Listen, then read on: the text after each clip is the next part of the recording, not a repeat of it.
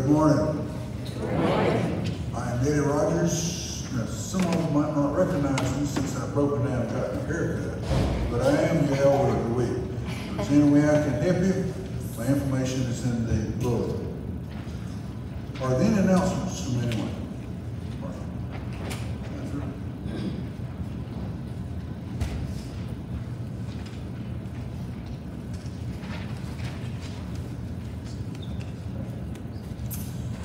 Make our landscaping plan a reality. As you know, as you've seen lately, we've been working around the sanctuary, trying to prepare the, the, the area we're going to landscape, the garden part, and everything else. It's been, it has been and still is a work in progress. We have placed a poster with the picture of the finished product with names of the trees, the plants, the grasses, a new bench, etc. in the fellowship hall. Please take a look and see if you would like to remember or honor a loved one with a contribution. If any of you have been doing landscaping lately, you know the expense of making it beautiful. If you choose to make a contribution, check payable uh, out to YPPC and mark it for landscaping.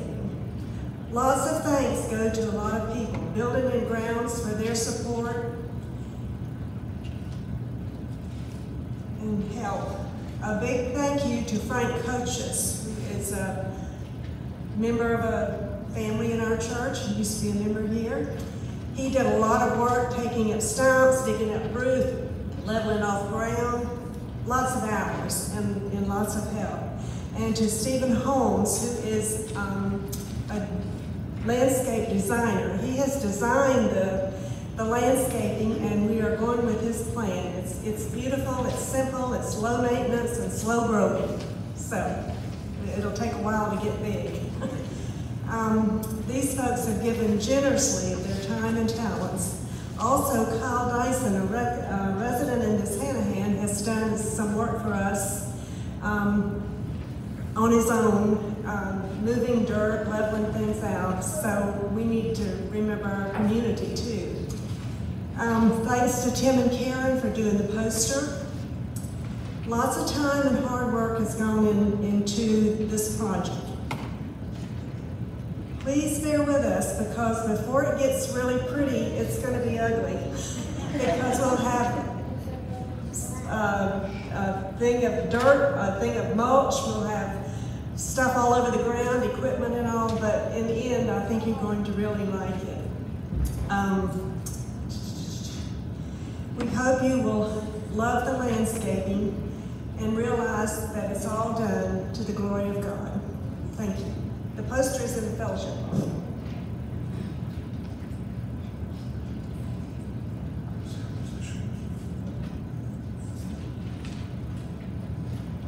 Are there any more announcements?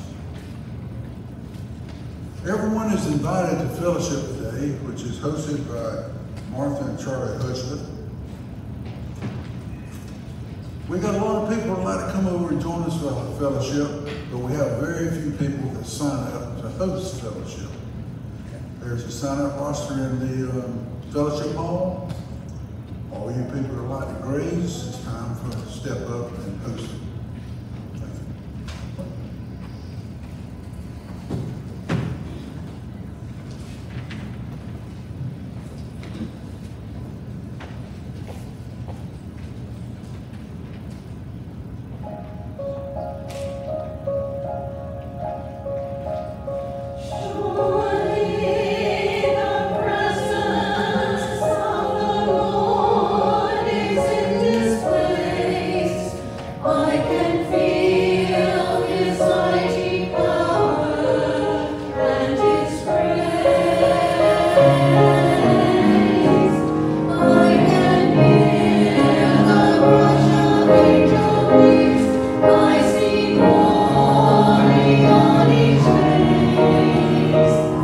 Surely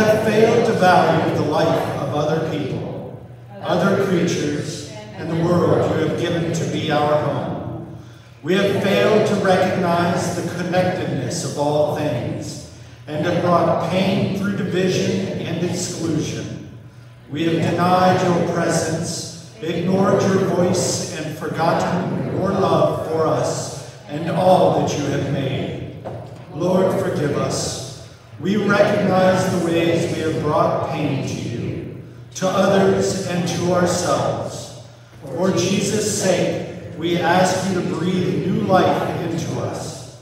Wash us clean and ignite the fire of love in our hearts again. Amen. Amen. Those who are in Christ are a new creation. Everything old has passed away. See, everything has become new. All this is from God, with whom we have been reconciled through Christ. Thanks be to God. Friends, believe the good news of the gospel of Jesus Christ. We have confessed our sins. Our sins are forgiven. Thanks be to God.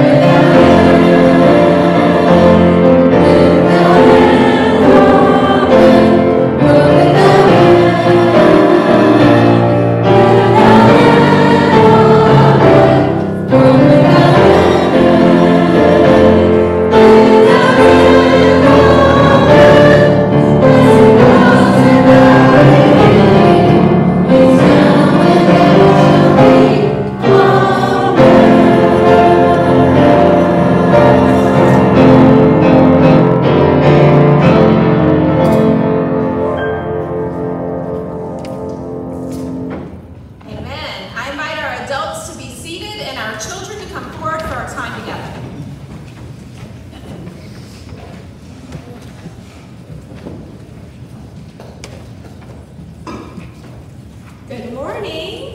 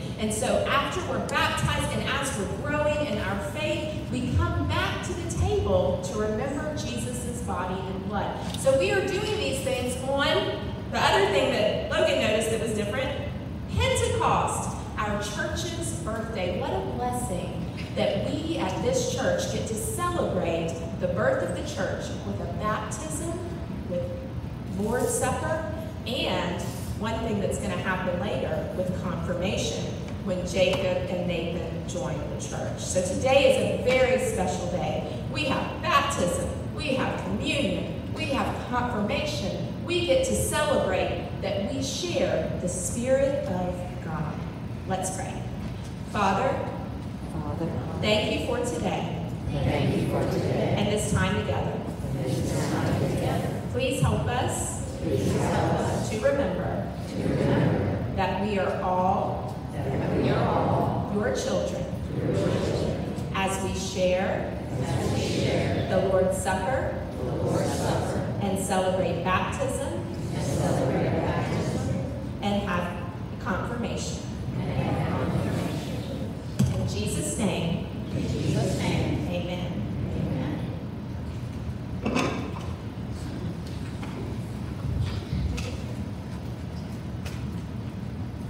You want one?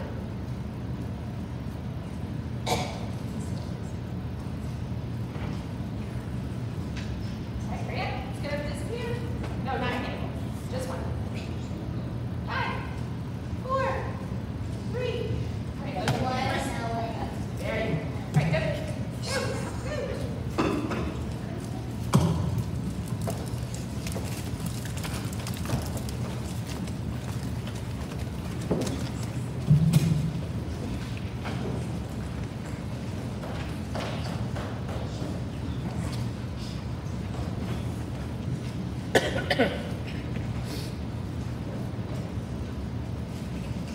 Let us pray.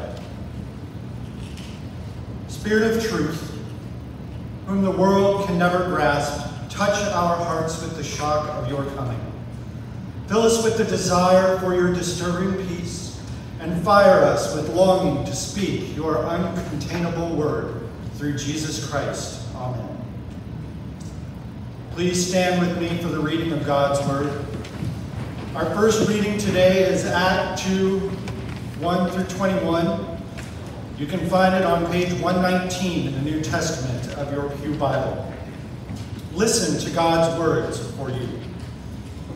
When the day of Pentecost had come, they were all together in one place, and suddenly from heaven there came a sound like the rush of a violent wind, and it filled the entire house where they were sitting. Divided tongues as of fire appeared among them, and a tongue rested on each of them. All of them were filled with the Holy Spirit and began to speak in other languages as the Spirit gave them ability.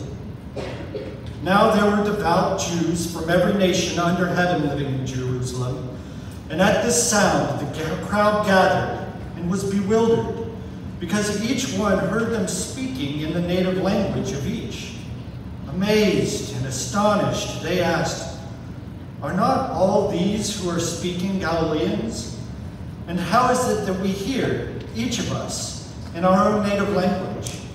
Parthians, Medes, Elamites, and residents of Mesopotamia, Judea, and Cappadocia, Pontus, and Asia, Phrygia, and Pamphylia, Egypt, and the parts of Libya belonging to Cyrene, and the visitors from Rome, both Jews and proselytes, Cretans and Arabs.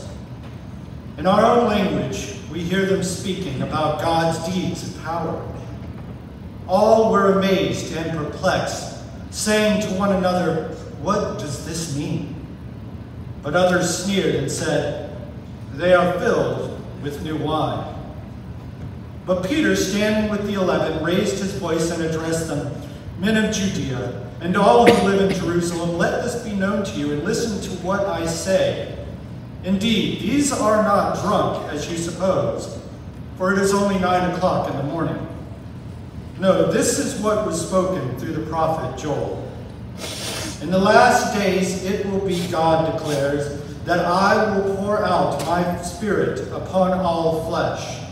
And your sons and your daughters shall prophesy, and your young men shall see visions, and your old men shall dream dreams. And upon my slaves, both men and women, in those days I will pour out my spirit, and they shall prophesy. And I will show portents in the heaven above and signs on the earth below blood and fire and smoky mist. The sun shall be turned to darkness and the moon to blood before the coming of the Lord's great and glorious day. Then everyone who calls on the name of the Lord shall be saved. This is the word of the Lord. Thanks be to God.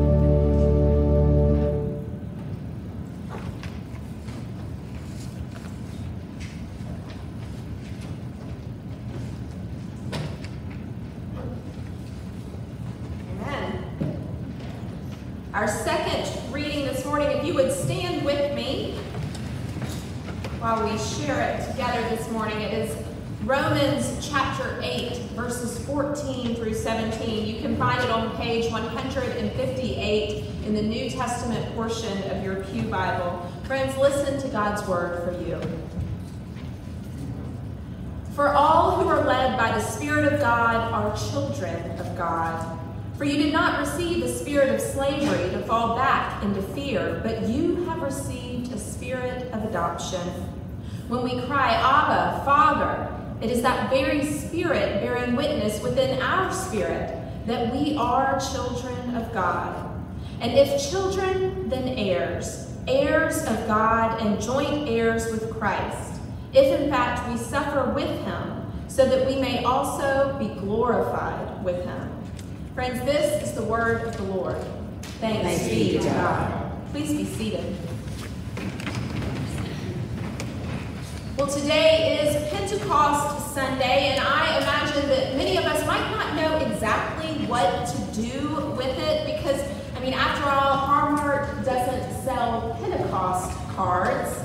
There's no flame shaped Reese's peanut butter cups. Thankfully, a couple of wonderful people got me leftover um, egg ones, so I'm not out. But there are none of those. There's not even a Pentecost pinwheel at the dollar store that we could go and buy. We had to make our own Holy Spirit fire at worship committee on Thursday. And so the outside world has no idea that today is Pentecost, that it's a very important day in the life of the church. And we know that it's important because today is the day when we remember the coming of the Holy Spirit, the original pouring out, like JC read from the book of Joel, pour, I will pour out my spirit on all flesh. We remember the time that happened on the first Pentecost Sunday when the disciples were gathered together and suddenly the room was filled with this rushing wind, even stronger than our air conditioner, and flames were over each of the disciples' heads. The Spirit came boldly and wildly, and it carried the disciples out into the street where Peter, where Peter preached the good news of the gospel. And all of a sudden, they heard it in their own languages. All of those hard names of places where people had come from, they heard the gospel in their own native tongue. It was the birthday of the church. It was the beginning of the new era in the way that God was going to relate to God's people. No longer were they corralled by God's word as they were in the Old Testament times. Not even were they led by Jesus physically walking before them. No, now the Spirit of God, the holy wind and fire, would light in the hearts of the believers and send them out so that they could transform the world and they would take the world the good news of a new identity. And so it's a very exciting holiday, Pentecost Sunday, but it's also a little bit scary. The fire everywhere, it's intimidating as the wind blows. You see, because wind and fire are very difficult to keep in a box. And we like things that fit neatly in a box.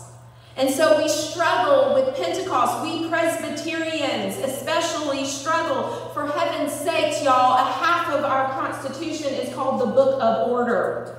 We like things decent and in order, predictable. And there's just not much predictable about a spirit that will blow any way the spirit chooses to blow, shaking the foundations of what we know to be true. Now, we are not, thankfully, alone in our struggle with the meaning of Pentecost. You see, ever since that first Pentecost Sunday, the church has struggled in each and every generation to understand what will it mean for us, the church of today, to be people of Pentecost.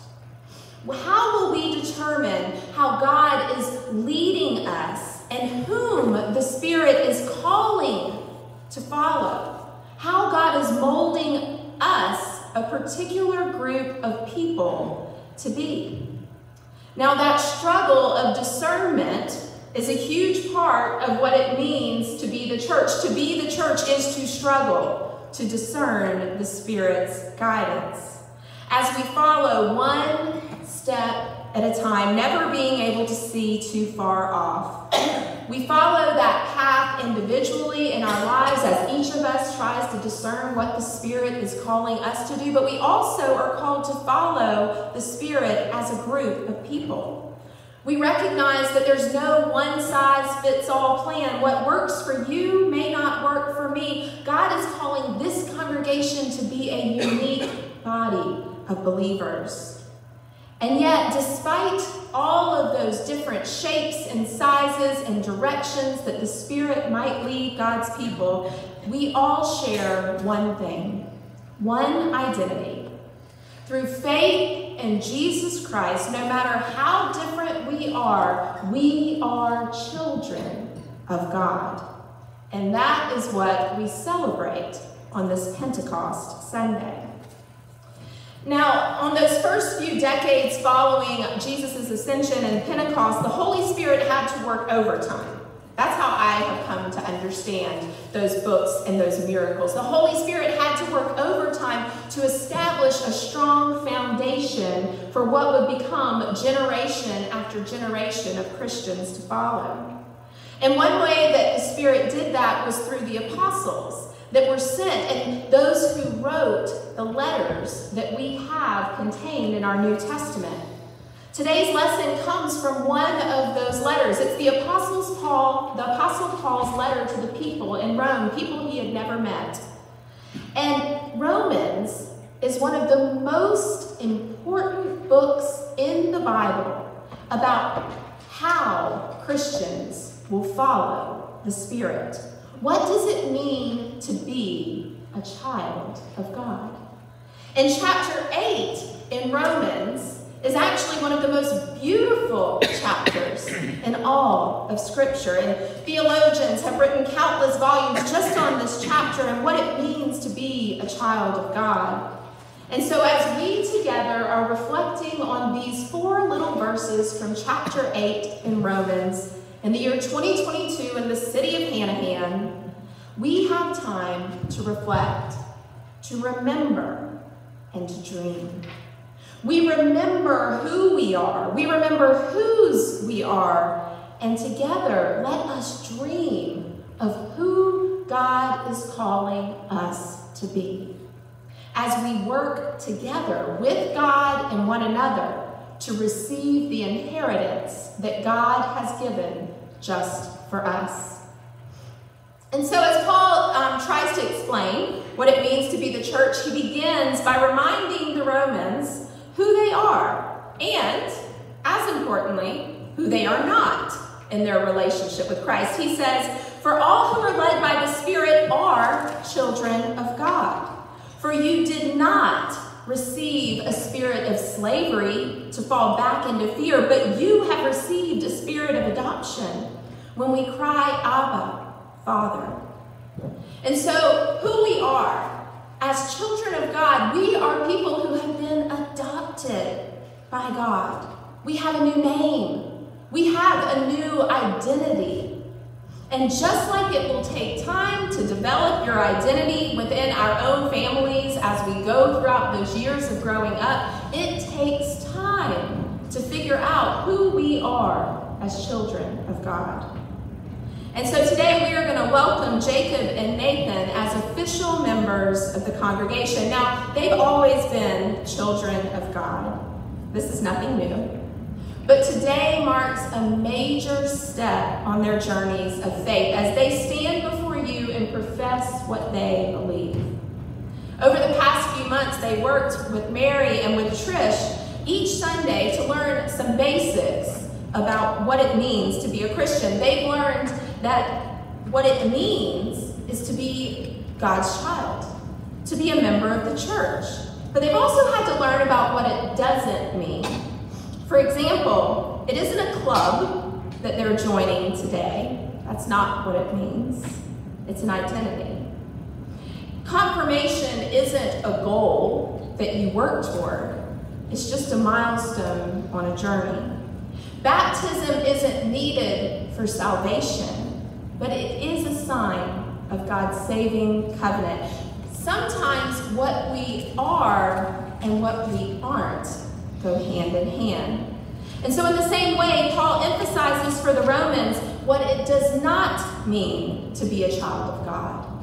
Paul says, being God's child means that we are not enslaved by fear anymore. Now, you see, Paul had just finished explaining the fact that our relationship with Jesus Christ means that we are no longer going to be ruled by the carnal desires of our flesh. No longer will our hearts be governed by selfishness or lust or greed or whatever those desires are. To live in the Spirit means to turn from sin and to embrace righteousness. But see, there's always this danger when we connect the dots of works and grace.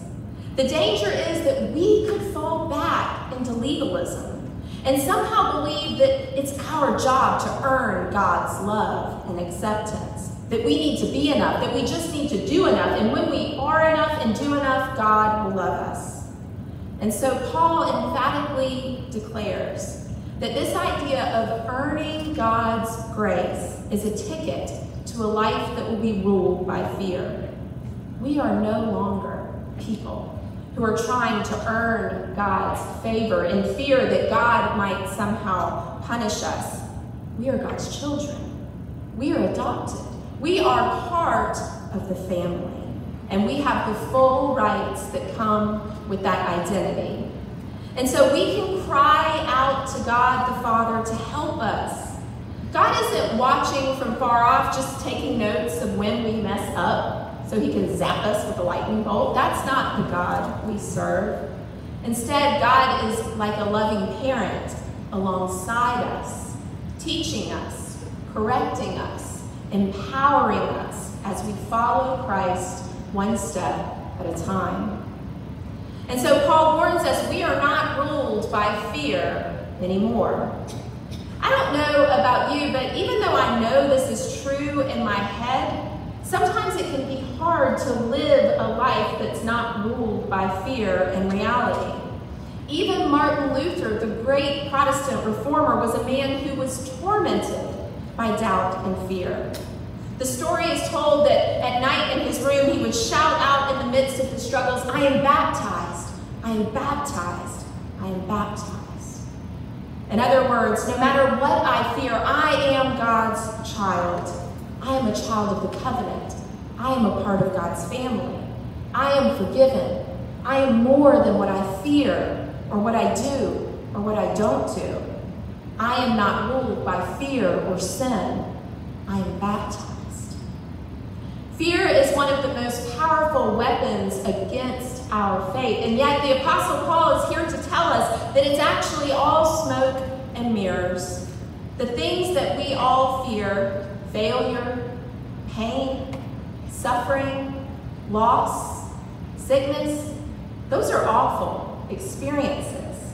They can shake us to our core. However, they are ultimately not what defines us and who we are. You see, the enemy of our faith would have us to believe that anything other than our relationship with God is what defines us. Our achievements, our most precious friends and families, our possessions, our appearance as we age, friends, those all get taken away. But when we allow the fear of losing those things to govern our hearts, we're misplacing our sense of self worth. We're in bondage to fear. And so the Spirit is reminding us today that the only way to freedom from fear is to build our identity on a solid foundation. When we are led by the Spirit, we are children of God. Paul writes, It is that very Spirit bearing witness within our spirit that we are children of God. And if children, then heirs, heirs of God and joint heirs with Christ, if in fact we suffer with him so that together we may also be glorified with him. Now, I know that school just got out last week and nobody wants to hear it, but I need to give you some grammar notes about this passage. You see, there's something that's lost in translation. Four times in these verses, Paul adds the Greek word, which is the prefix for together. And so, what he's saying is that God is doing work together with us. The Spirit is testifying together with our spirit that we are children of God. Jesus is sharing together in our joys and in our sorrows with the bounty of his inheritance as God's Son. We are suffering together with church. We will be with Christ. We will be glorified together with him. We are not in this alone. Instead, as Pentecost people, we are in it together with God, and we are being led by the Spirit. So, the guidance that God gives isn't simply handing us a roadmap, right? That's not what God does. He doesn't wish us luck as we head off after confirmation. Good luck with that, boys. No. Instead, it is an active leading one step at a time. It's a dance with the wind and the fire of God. It's an unpredictable and scary journey at times, but no matter where the journey takes us, we never walk the road alone because as Christians, our tendency is we want to draw lines. What did I do and what did God do? But what the Apostle Paul is telling us today is that it's together. They are so enmeshed. When we are one in the Spirit, the Spirit is one in us. God's will and our work are interwoven into the fabric that makes up our lives. So, when I was a little girl, my parents brought me to church almost every Sunday. It was a big deal we got to miss. Um, I came to Sunday school and youth group and mission trips. And all along the way, I continued to hear this one message again and again in different forms You are a child of God. You have received the spirit of adoption and are no longer ruled by fear. And as I grew in this words kept coming, the Spirit testified in my spirit, and I figured out that it was true. And trusting that one truth has changed everything in my life. And so as I read these words this past week, the Spirit led me on to the next right step forward as I wondered what would happen if this was the focus of our identity as the church? The focus of our ministry, if all Christians came together with the Spirit of God to testify to one another that we are heirs, co heirs with Christ, that Christ is here together with us, sharing in our suffering, sharing in our joys, leading us one step at a time so that together with Christ we can glorify God. What if this is more than we could ever even imagine? What if Christians were known for inviting people into this reality that I just described? What if that was the most important thing that we did as God's people? Friends, we are Pentecost people. Regardless of what the enemy of our faith may say, we are no longer ruled by sin or fear. We are children of God. Our sin does not get the final word. Our fear cannot keep us in bondage. Instead, by the power of the Holy Spirit, we can cry out, Abba, Father, and He will help us in our weakness. This doesn't mean that we don't suffer. We will. Our hearts and our bodies will be broken and bruised. However, all of that will eventually pass, and one thing will remain our relationship with God and God's family, our share in the inheritance of Jesus Christ. Because the spirit of adoption has brought each of us into this family and promises that He will guide us one step at a time, the peaks and the valleys and everywhere in between. And this news is too good of news for us to keep in this room. Let us share it with our children. Let us share it with our friends. Let us share it with our neighbors. Let's even share it with our enemies. Maybe, most importantly, let's share it with them. Because the Spirit is testifying within our spirits today, and now we need to follow the Spirit's guidance as we remember who we are and we live into the dream of God's glorious inheritance that He has prepared for you and for me and for every child of God that will come. In the name of the Father, and the Son, and the Holy Spirit. Amen. We now come to the time in our worship service where we will respond to God's word with a service of confirmation and the sacrament of baptism. As I come down, I'm going to invite Trish and Mary and Nathan and Jacob to come forward so that we can share in this time together.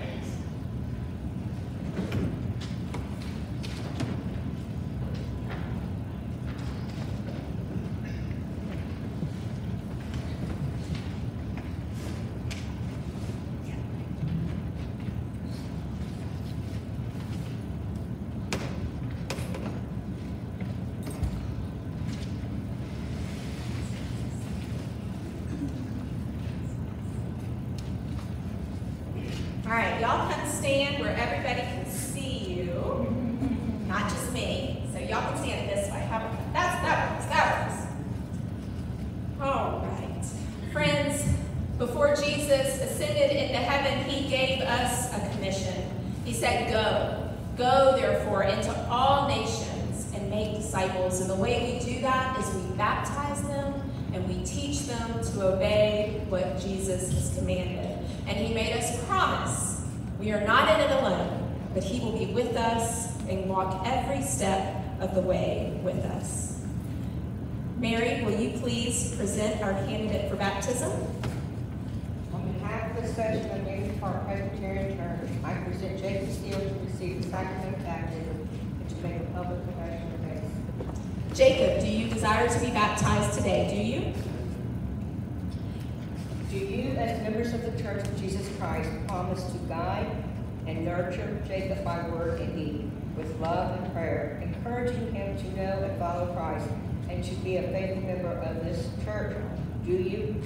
We do. do. And now will you please present Nathan? Nathaniel Nault is presented by the session to make his public profession of faith, reaffirming the baptismal covenant into which he was baptized.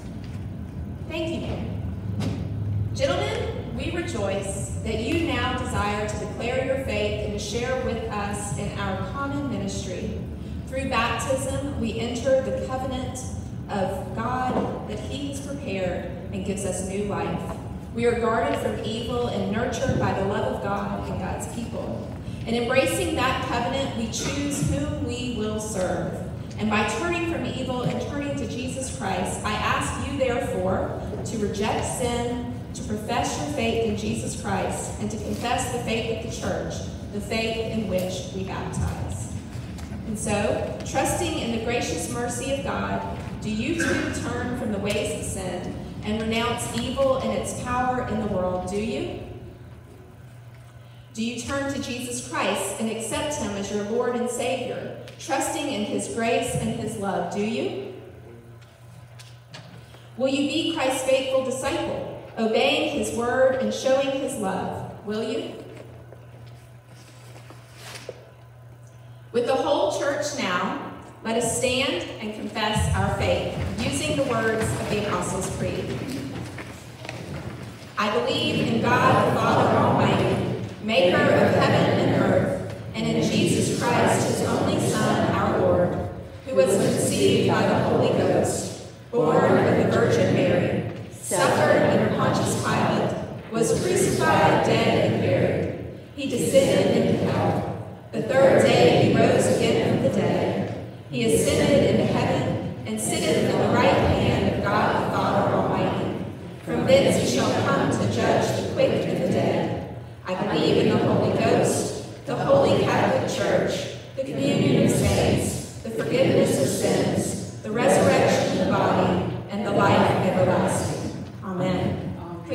seated.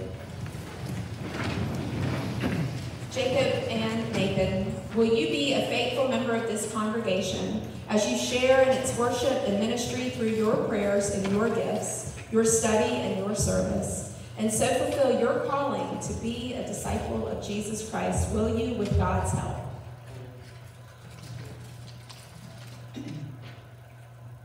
And now Trish will pour the waters of baptism as together we pray the prayer that is printed in your bulletin. Father, pour out your Spirit on us that we may participate again in your baptism. May all who pass through these waters be delivered from death to life, from bondage to freedom, from sin to righteousness. To you be praise, honor, and glory through Jesus Christ our Savior, who with you and the Holy Spirit reigns forever. Amen. Jacob.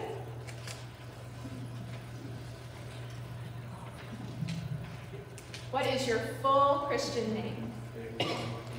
Jacob Tyler Steele, child of the covenant. I baptize you in the name of the Father and of the Son and of the Holy Spirit, and I mark you somewhere here with the sign of the cross. You are God's child.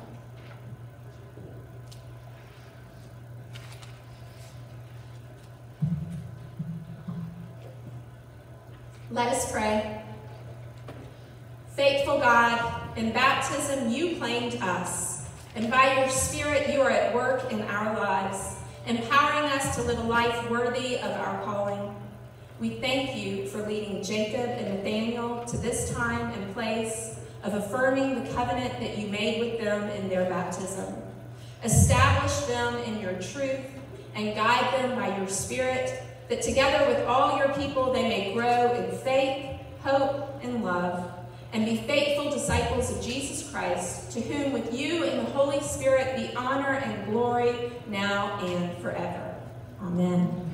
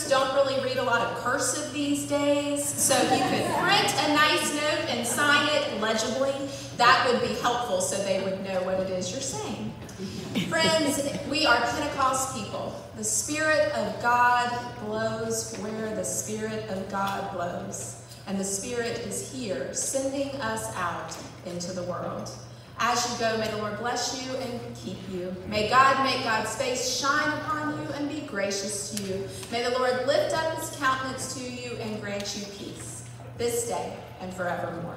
Amen. Amen.